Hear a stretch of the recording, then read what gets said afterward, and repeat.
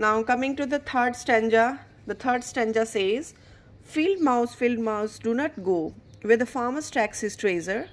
Find the nut that falls below, eat the acorn at your pleasure. But you must not steal the grain, he has stretched with so much pain that means now the poet says field mouse field mouse. Now he's telling the since this is a poem the poet tells the field mouse field mouse field mouse do not go. Where the farmer stacks his treasure. Stacks means stacks means uh, pile place of pile of things that means एक के ऊपर कोई चीज़ एक के ऊपर दूसरा, दूसरे के ऊपर तीसरा. जो सैक्स जो ग्रेन के रखे होते हैं, गेहूँ की बोरी या चावल की बोरी अनाज की जो बोरियाँ एक के ऊपर ऊपर रखी रही थे उसको स्टैक्स कहते हैं. And treasure means treasure means खजाना. जो मतलब फार्मर का तो वही खजाना है, अनाज ही उसका खजाना है, किसान का खजाना वही है।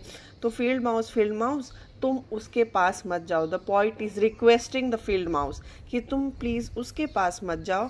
Find the nut that falls below तुम उस नट्स के पास जाओ जो पेड़ से अपने आप गिर रहा है। तो do not harm the farmer he wants to say that don't harm the farmer eat the account at your pleasure जो फल से पेड़ गिर रहा है तुम्हें तो वही बहुत है। तो तुम उससे खुश हो जाओ, उसे खा लो। You can eat that eat the acorn at your pleasure but you must not steal the grain जो फार्मर ने बड़ी मेहनत से जो ग्रेन को उगाया है इसको इकट्ठा किया है please do not steal that उसको ख़राब मत करो, उसको चोरी मत करो. Because you have seen that चूहे तो यही सब काम करते हैं. वो कहीं भी हमने आप, अपने घरों में भी देखा है, जहाँ कोई चीज़ रखी हुई होती है, वो वहाँ पहुँच जाते हैं और उसको कुतुर कुतुर करके खाने की आदत होती है.